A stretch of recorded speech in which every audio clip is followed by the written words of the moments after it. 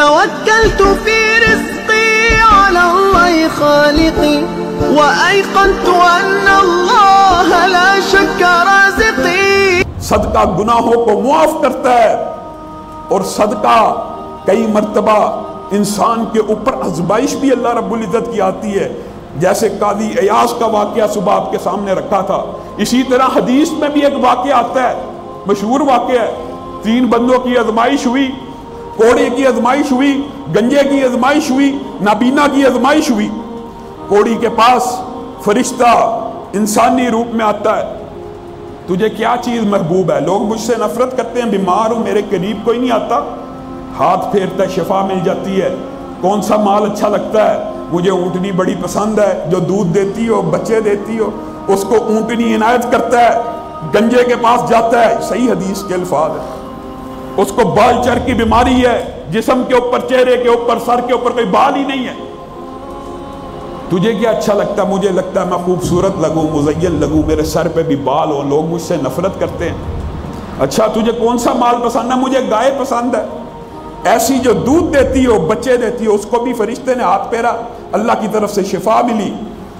गाय अता की, नबीना के पास पहुँचा। तुझे क्या अच्छा लगता है?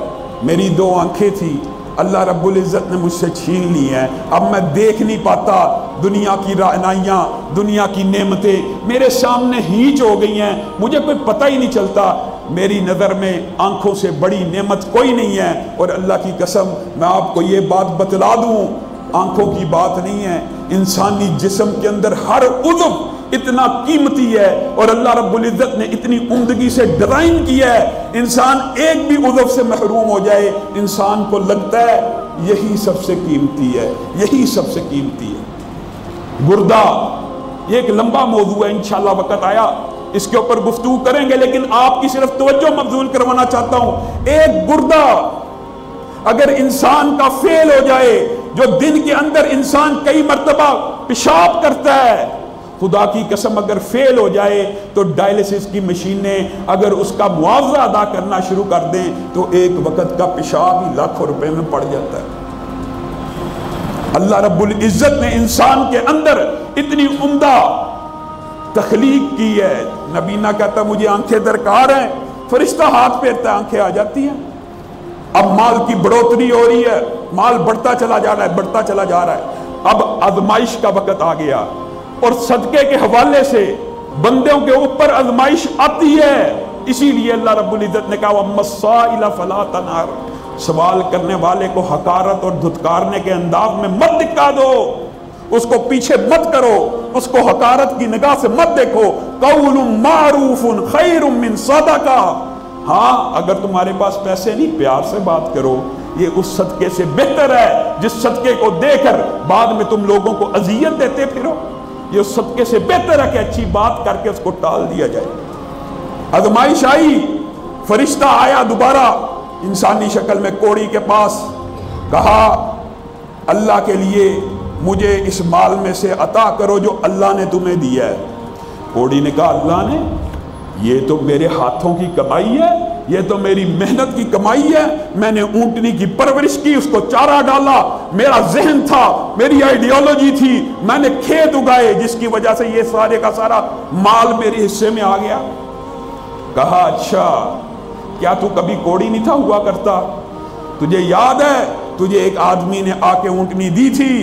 तेरी आजमाइश हुई, तू फेल हो गया, ये तेरा सारे का सारा माल बर्बाद हो जाए। इसी तरह गंजे के पास गया गंजे ने भी यही जवाब दिया, ये तो मेरे हाथों की कमाई है। बच्चे पैदा करना, बच्चों की बढ़ोतरी करना, इन रेवड़ों की खिदमत करना यह तो मैंने मेहनत की है जिसकी वजह से इतने जानवर पैदा हो गए।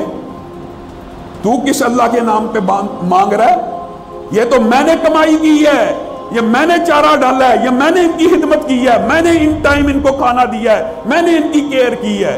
कहा, अगर तू सच कहता है और अगर तू झूठ कहता है तो तेरा माल हलाक हो जाए इसी तरह नबीना के पास पहुँचा। नबीना को कहने लगा, अल्लाह के नाम पर मुझे इन जानवरों में से कुछ इनायत कर दे। नबीना जिसकी आँखें वापस आ गई थी, रोना शुरू हो गया।